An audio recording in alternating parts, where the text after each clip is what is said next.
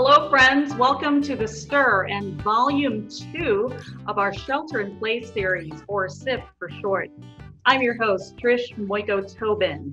And joining me, as always, is a woman I shaved my legs for. As a matter of fact, I did, which is rare uh, in this well, day and age. Now you put me in an awkward position. She is my binge bestie. She is author, columnist, TV producer, Debbie Baldwin. Hey, Deb. Hey, Trish. so, how are things at the Baldwin household? Still getting along? Uh, well, you know, everyone is still standing. Is that's the best update I can give you. The laundry is mounting. The paper towels are diminishing. I feel like you know, especially with the Zoom uh, method that you know I'm, I'm calling out to the outside world for help like we're down to the end of our last supplies and you've been at this longer i mean since we are broadcasting from st louis just so you know this is the first week of a statewide stay-at-home order but we've been under a stay-at-home order in the city and county for about three weeks now for deb even longer about a month or so now right deb because one of your college kids was a study abroad student so you've had to quarantine for a little longer Yes. so we've been climbing the walls the look on your face says it all.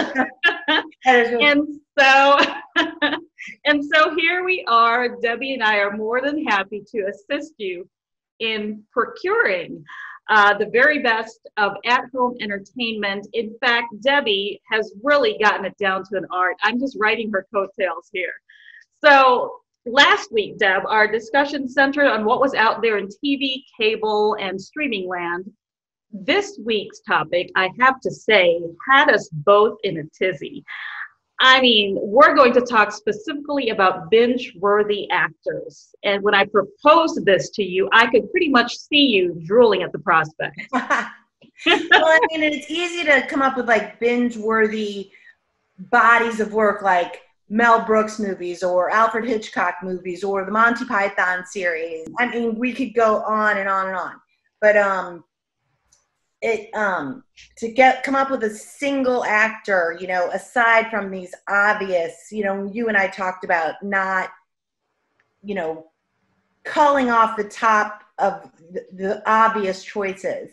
Exactly. So, these actors who have these tremendous bodies of work but that maybe don't pop into your head right away when you're thinking about doing like a movie fest, you know, a movie marathon night. Exactly. I mean, we're talking about already, um, not for discussion, because you and I pretty much agree Tom Hanks, Tom Cruise, uh, Meryl Streep, Julia Roberts, Robert De Niro, Eastwood, Robert De Niro, yeah. Will Smith, even. Um, yeah. You know, those are actors who've been around for decades now, and and you're right, they have a, a good body of work. So I'm really curious about what kind of criteria you abided by when you came up with your list. To me, the main question was always could I stand spending all day watching this person? And so my inner dialogue was a debate about does this actor, man or woman, have to be attractive or appealing to me to be binge worthy, or would the sheer quality of the good acting be enough to hold my interest? Uh, I'm really curious about your criteria. Right. And I think for me, it's all about talent. I mean, you take an actor like, you know, a Steve Buscemi or Benicio del Toro, who, you know, while arguably handsome, are not handsome in the traditional movie star sense of the word. Exactly. they're so talented that I could really watch almost any movie they're in. So the way I kind of structured our list here, because we did compare lists before the show you know the, the thing about the good looking good actor debate case in point in one of your movie review columns way back when i remember this because it was a thought you posed that made me go hmm you were talking about the jason bateman ryan ryan, ryan reynolds movie the change up. And you said something like ryan reynolds is so good looking you forget he's a good actor and jason bateman is such a good actor and you forget that he's good looking. So this was kind of like the conundrum I was faced with. And um, like you said, um, they don't have to be handsome in the classical sense. Um, you know, I mean, I'm in love with John Travolta, you know, those kinds of people. Buscemi is a great actor, and I love to watch him. Um, so, yeah, you're right about that. Um, and, you know, there's a joke on Modern Family where um, Mitchell Pritchett has a crush on um, Rob Lowe. And he says at one point that he's very talented, that he thinks his looks may have held him back. And I kind of chuckled at that line, but as I was coming up with my list, one of my actors for binging is Bradley Cooper. And boy, for a guy who is just, you know, textbook handsome, cover, magazine cover model. My gorgeous. goodness, yes. He we could do a show about how handsome Bradley Cooper is. Yeah, totally. Stop me now, right?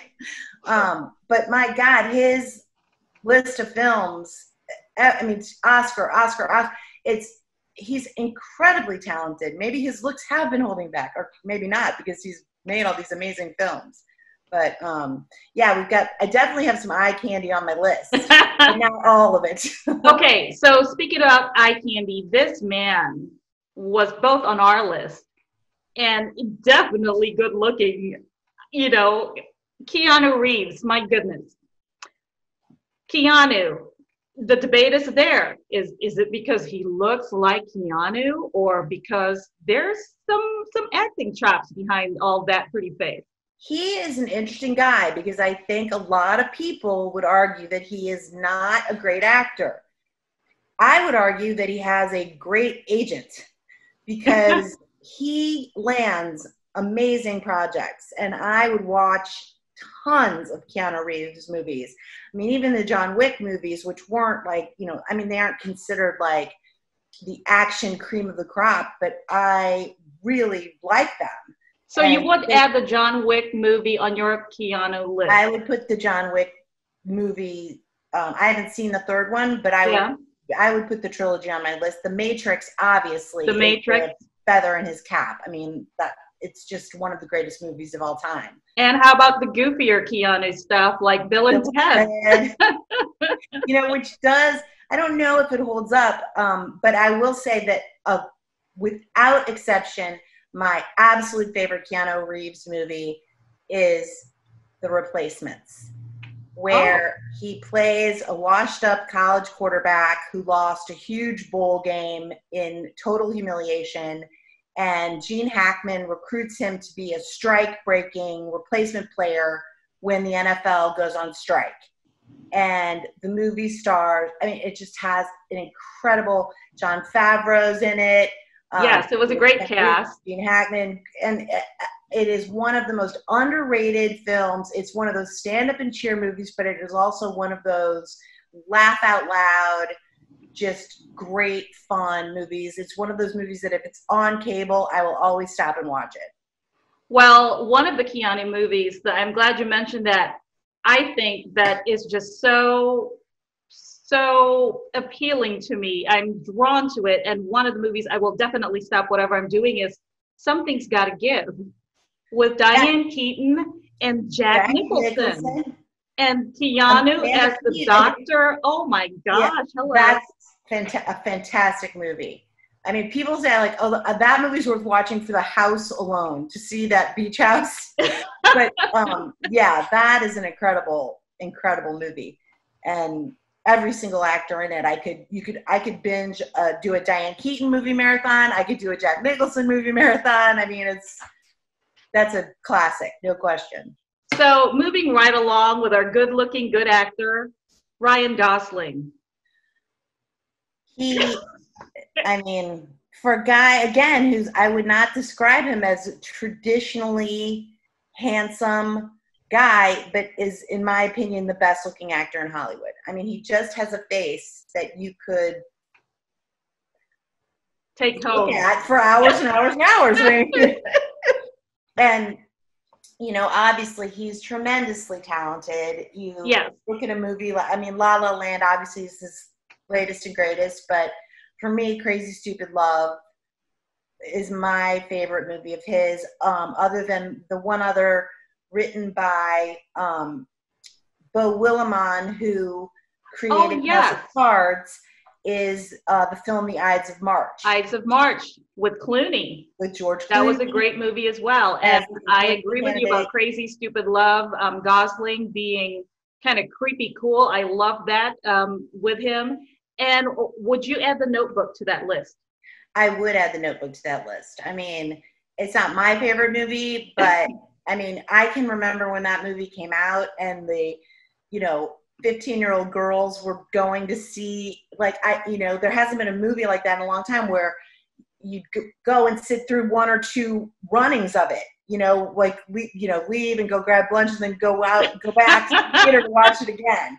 And yeah. other than like the Star Wars movies, that hasn't happened much. And then Ryan Gosling was in another film, which is a bit older, uh, called The Believer. Which, if you haven't seen that, no, I have not. Uh, it's an incredible film based on a true story um, about a young uh, Jewish kid who becomes a neo-Nazi, and it's, I mean, a very compelling performance and a very um, riveting film about. Okay, so that's one I'm going to have to add to my list. As I was coming up, you know, with our list here to talk about on the show, I was thinking we can't talk about Ryan Gosling without mentioning his frequent co-star, who is Emma Stone, of course, with Crazy Stupid Love and uh, La La Land. But on her own with her movies, would you consider her binge worthy? Yes, I would. Um, okay. You know, I used to kind of joke that Emma Stone must thank the heavens every day that Lindsay Lohan's career imploded because I mean that's maybe harsh, but you know she stepped right into that very talented redheaded ingenue role. Like that is true. You have a good point right there. I do like her. Uh, Easy A is very watchable. I love to watch that uh, movie. Uh, mean Girls. Um, yeah, she's. And uh, would you add the favorite to this list? One of her more recent yes. ones a bit heavy, but still comedic. But um, yeah, yeah, he was great in it. Um, and so th- the other night there was an Emma Stone movie. It's a kind of rare movie. Um, it's the Woody Allen movie Magic in the Moonlight with Colin Firth. Yes, which That's made me think. Mm-hmm. Yeah, so which made me think of Colin Firth. I he would be near the top of my list. What about you? I, absolutely. He is a very incredibly charming actor, so interesting to watch. I love all of his movies. Another one I would stop everything I'm doing and just watch. I am mesmerized by him. Yeah, I mean, from Bridget Jones's Diary to Love Actually to his more serious roles, The King's Speech. Yes. And I'm like, God, am I mixing him up with someone? you know, like, did I just say the wrong guy? No, no, no, that's him. But I mean, I would even add Mamma Mia to that. Completely. I mean, I mean, he is so lovely to watch. so, moving right along from Colin Firth, his fellow British actor and Bridget Jones' nemesis. Um, definitely another yes for me. I don't know what you think about him, but it's Hugh Grant. Uh, love Hugh Grant. I mean, he he almost to me was born in like the wrong era he you know could have been one of those 50s i wouldn't say he has the greatest range as an actor but he plays that kind of charming ne'er-do-well um, coming of age man you know with aplomb. He's I, he's perfect for such roles kind of like the jane austen uh, movies uh, four weddings and a funeral uh, Florence Foster Jenkins with Meryl Streep. I thought he was great in it.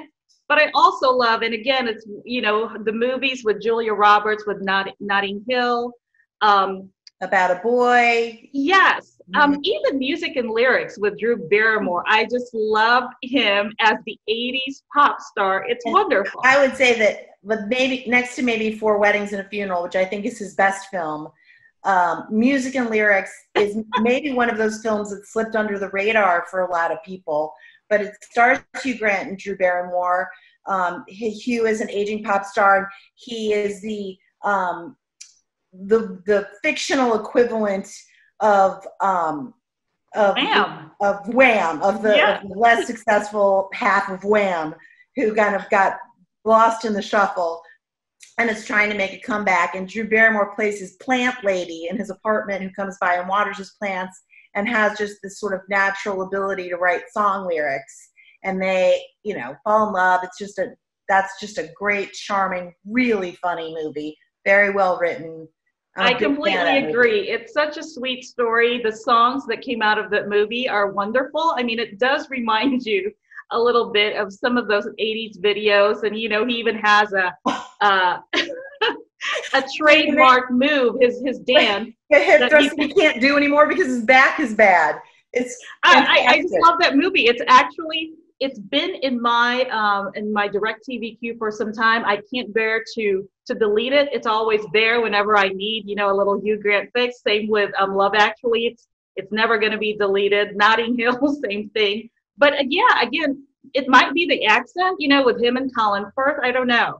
But um, we mentioned Florence Foster Jenkins, and you know, of course, his co-star was Meryl Streep. Meryl definitely a given for us. I think, though, for me, um, in terms of being bingeable for Meryl, her more lighter films uh, would be a little bit more appealing to me if I were to do a Meryl Streep marathon all day. I mean, it would take a month. I her but it's so funny like I'm, looking up these actors and, and, like i want to talk to you about and you think oh like you know i love queen latifah let's look up her you know and i jot down her 10 films some yeah. that are my favorites or you know bradley cooper and i jot down his 10 films then in google you know plug in meryl streep like scrolling scrolling scrolling i mean i could jot down my top 10 Oscar nominated roles. Exactly. I mean, that's the problem with actresses like her with such a vast um, filmography. So you did mention Queen Latifah. I thought, hey, that's um out of left field, but I do love her in the movies. What are some of the movies that's tops on your list for her? my favorite movie of hers is The Last Holiday, without question. Gerard is, Depardieu. Yes, and it's the story of a woman who gets bad information. She gets a misdiagnosis of terminal cancer. And so she takes her whole life savings and she takes off to the French Riviera, I think it is, or Monaco or so. And um, somewhere in Europe has this devil may care, you know, um, uh, you know, last days on earth vacation, which of course is she's not dying, but um, and it's just a funny, charming film, and she really pulls it off so well. I mean, she's just wonderful to watch. Her, I mean, she's such a beautiful woman and such a yes. And she was great in that film. And to add Gerard Depardieu as the chef, wee wee, my goodness! I mean, that was that was that was a great, great um, combination. She was also in um, Chicago, of course. Um, fantastic. I would add that to her uh, to the Queen Latifah list. She was in Beauty Shop, Secret Life of Bees, and uh, more recently, trip. can't forget Girls Trip. Yes. um, she was in Jungle Fever, the Spike Lee film. I, mean, I had forgotten about that. uh, the Bone Collector. I mean, she's another. She's a woman who has a tremendous amount of range. I mean, she's gone done some very serious, um, you know, quality dramas, and then some just over the top, fantastic comedies. Bringing Down the House with Steve Martin. Yeah. I mean, she's really got a broad based body of work with lot, in lots of genres. So speaking of someone with range, and perhaps uh, we don't think of her um, off the top of our head because she is such a great comedic actress, and it's only fairly recently that that we've really seen her range as Melissa McCarthy. Melissa McCarthy, and she hasn't, you know, she doesn't have the body of work that a lot of of you know binge movie marathon actors have, but man, you want some really funny films. If and I almost I started laughing out loud to myself as I was jotting down my list of her films because you sort of forget that oh she was in this one, she was in this one, she was in this exactly. one. Exactly. And um, I mean it's the Heat, which with Sandra Bullock, where you know they're um, Sandra Bullock's the uh, FBI agent. Yeah. And she's the cop. And See, I'm laughing already just thinking about it. I mean, just that one, every scene in that movie makes me smile just thinking about it. Well, and of course, Bridesmaids, which she pretty much steals the show. I mean, that scene on the airplane when she suspects that that man is the air marshal, who is her real life husband, by the way. Real life husband is the fact that that is the case. It makes it even more hilarious. I mean, oh my god! Don't forget Spy, Trish, which is her other, yes. you know, big comic. That's right. Where you know she gets becomes a field agent as opposed, to, you know, gets taken away from her desk job at her, you know, government agency to become a field agent. And I mean, right. every scene in that movie is hilarious. Yes, I, I did. Stars Rose Byrne, her bridesmaids co-star. Yeah, those women. There's a lot of of overlap in a lot oh, of definitely. really funny female-driven comedies. Definitely. Um, more recently, though, she was in "Can You Ever Forgive Me," which was a little bit of a departure for her. But my goodness, she definitely took on that role with gusto. She was I agree. I thought that was a great performance, and that was a really interesting movie. Yeah. And so one of Melissa's bridesmaids co-stars is Maya Rudolph, who made your list. I love Maya Rudolph. I mean, from her SNL days to she made an independent film with John Krasinski. If um, any anyone tuning in is a fan of John Krasinski from The Office, this movie called Away We Go. Oh, okay. One of the funniest, most charming films.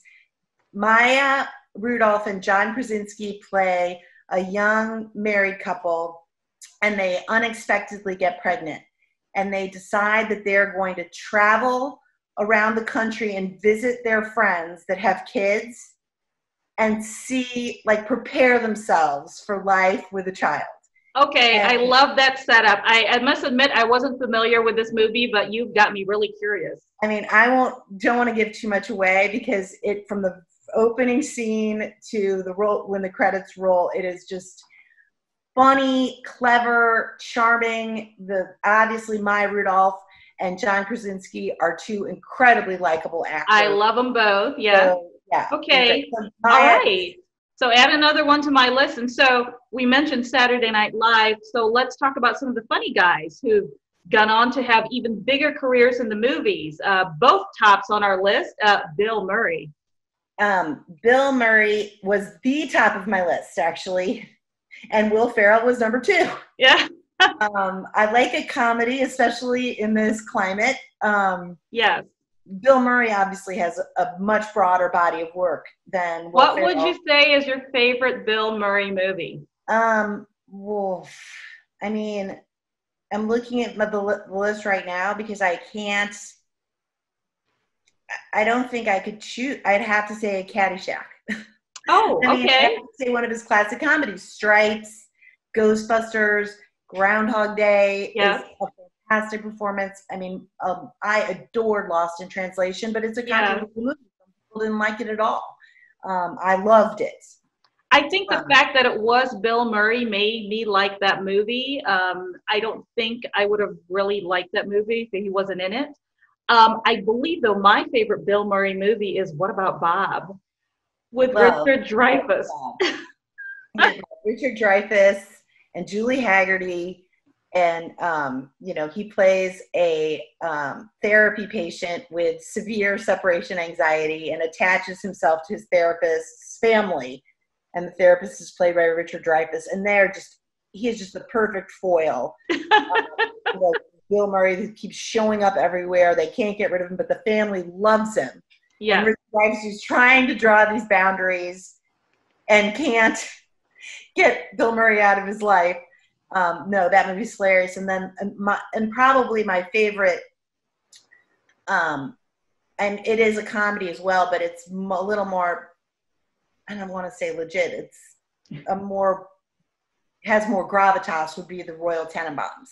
Oh yeah, Bill Murray has a small role in, but if you, you know you your listeners have not seen the Royal Tenenbaums, it is one of the greatest movies. I just think it's everything about it is phenomenal. It's hilarious and it's smartly written. And you're right. I mean, again, he just um, he morphs so much into that role.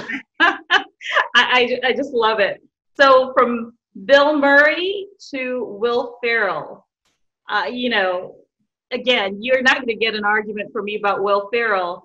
Um, Anchorman is probably on the top of my list for him. So are his movies with John C. Reilly, like Ricky Bobby and Step Brothers. Um, what would you say um, is is tops on your list in terms of uh, Ferrell movies? Um, you know, I'd say Elf. Oh yes, I totally forgot about that too. You're right. Yeah.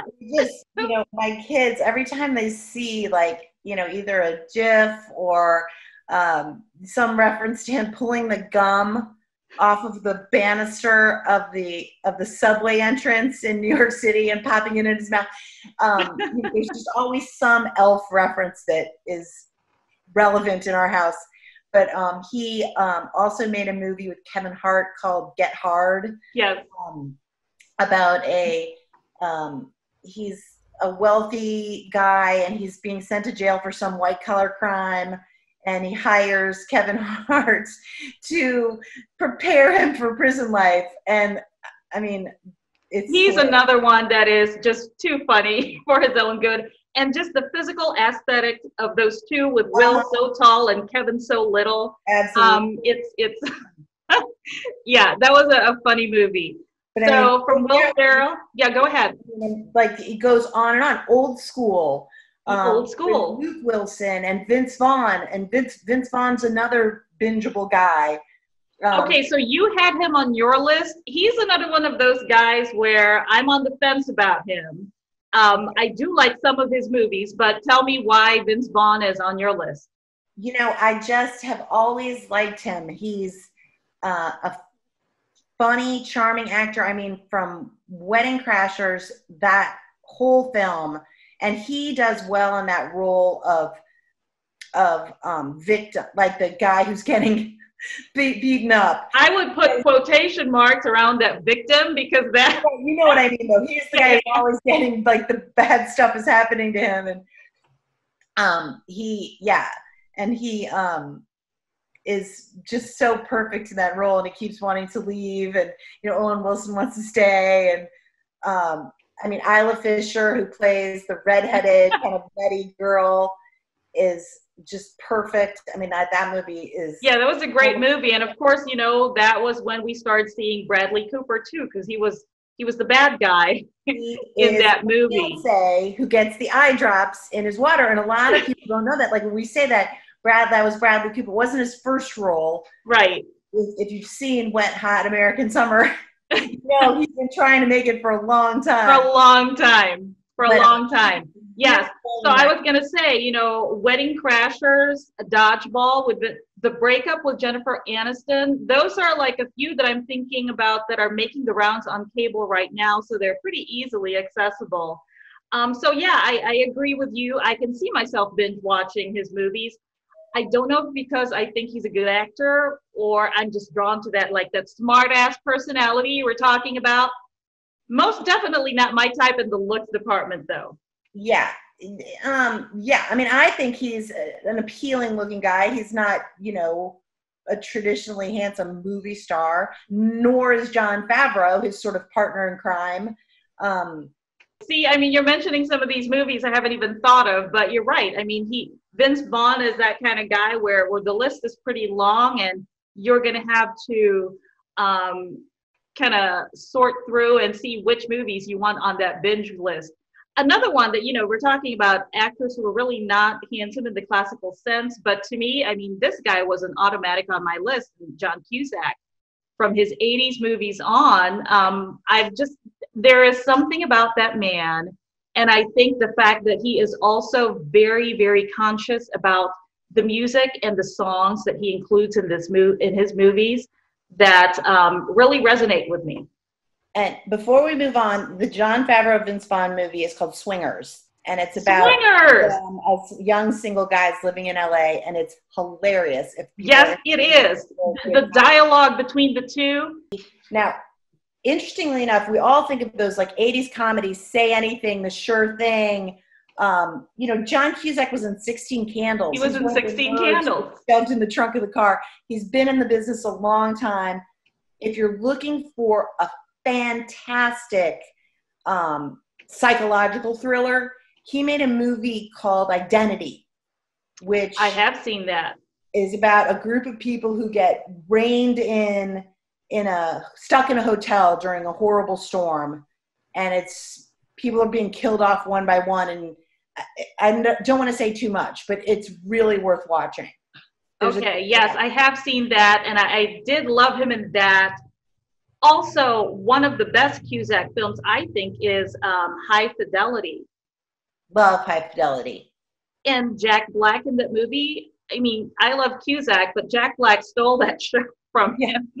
it's based on the novel by Nick Hornby. Yeah, it's a great, great film.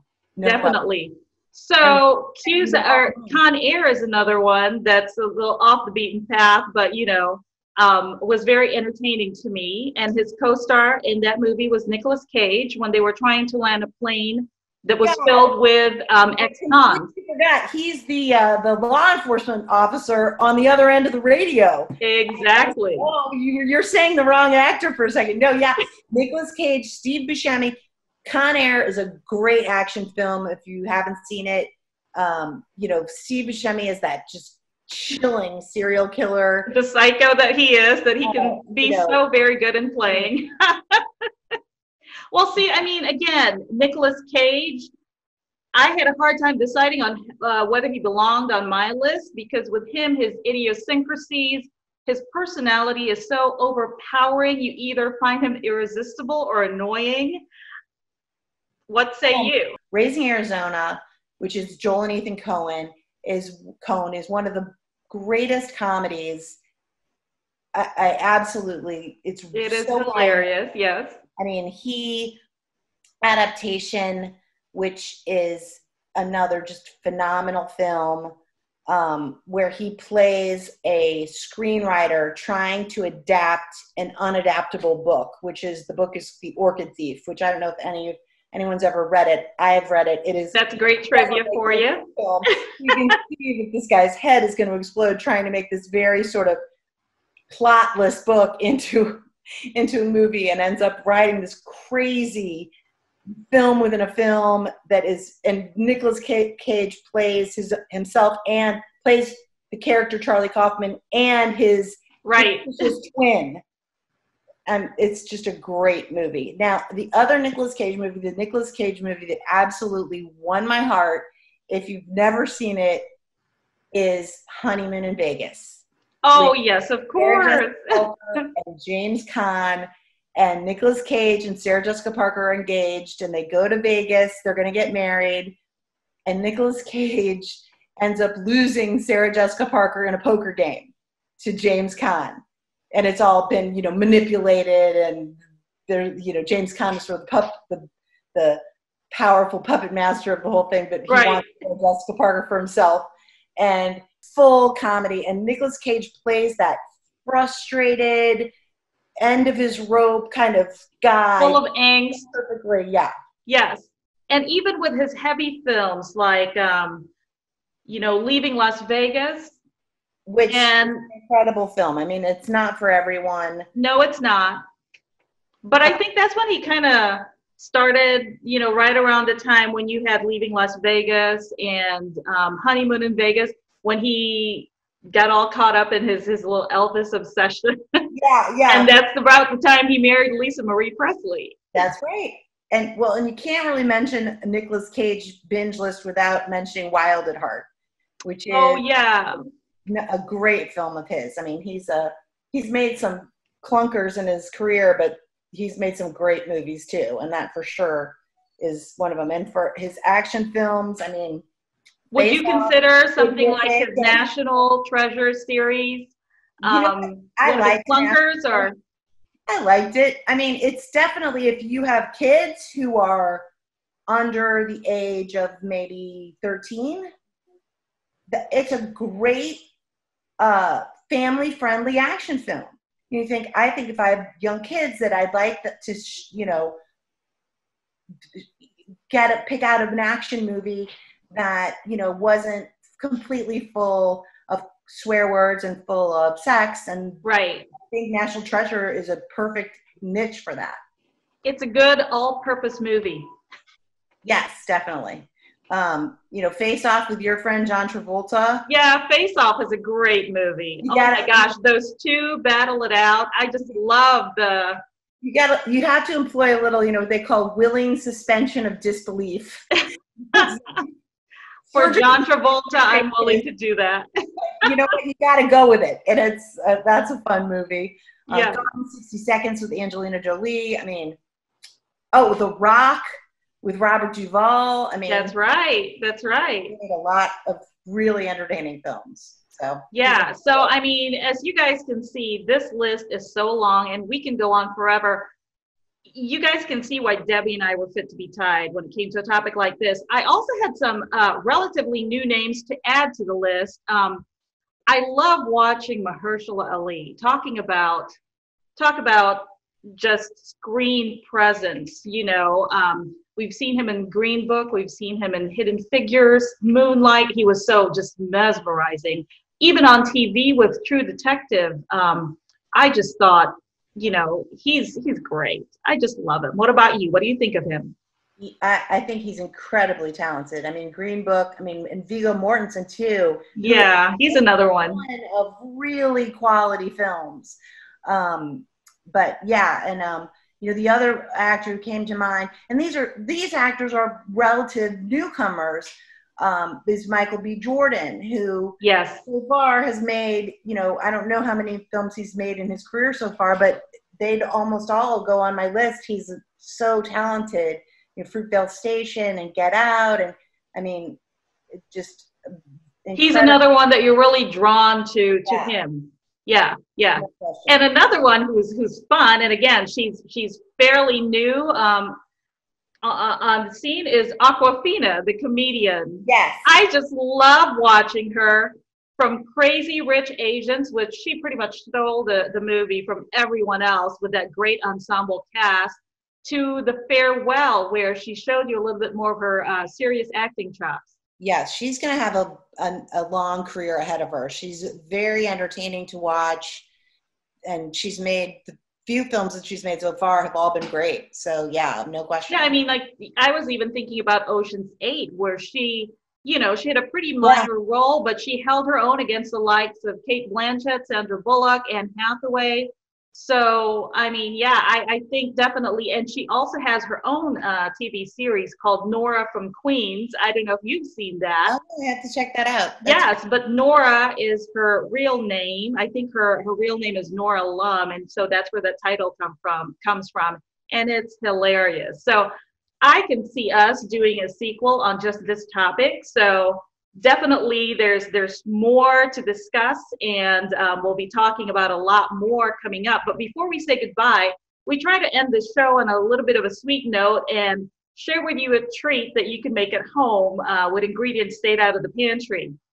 Last week we had dalgona coffee and deb what's your verdict on that whipped coffee?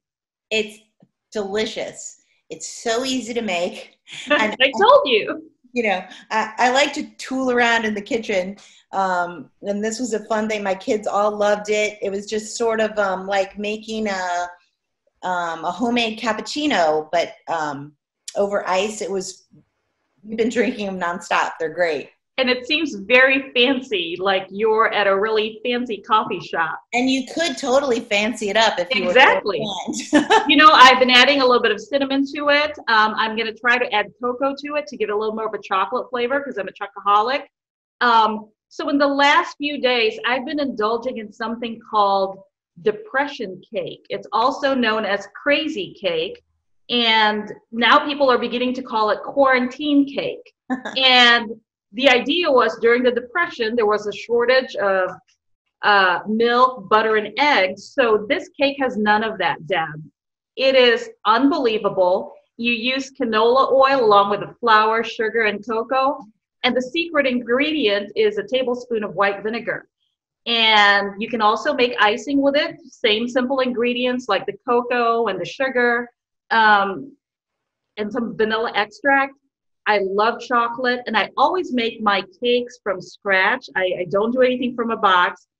But this one has made me such a believer. I think it's the next one you should try. It's so moist, it's so chocolatey. it's definitely something that'll help with those quarantine blues.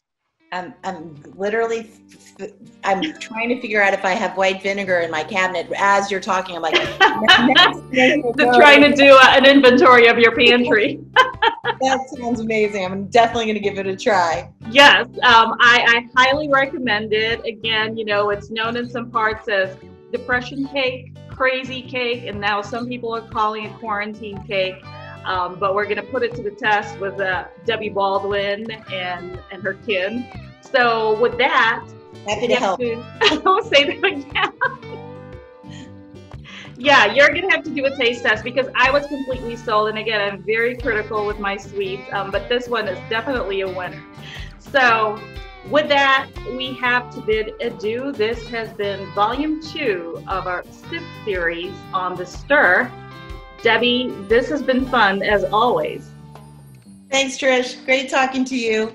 You too. Thank you, Deb, and thank you for joining us. We will see you next time.